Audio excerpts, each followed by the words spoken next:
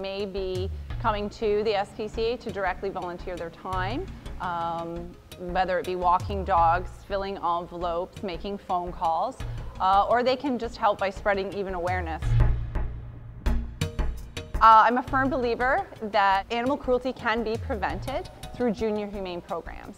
So raising the next generation of children to be humane, to care about every, every single living creature that's around them, having them learn empathy at a young age uh, and responsibility at a young age.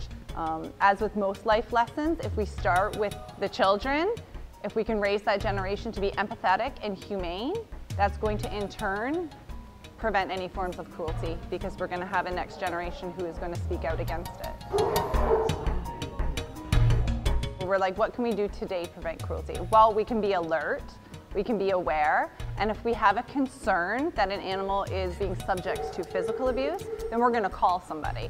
So we're going to call either our local SPCA or the province-wide line, which is 310 SPCA. So 310-7722 anywhere in the province of Ontario. Uh, we'll link you with a direct dispatcher 24 hours a day to just talk to someone about what your concern is uh, and find out if you know it warrants getting looked into.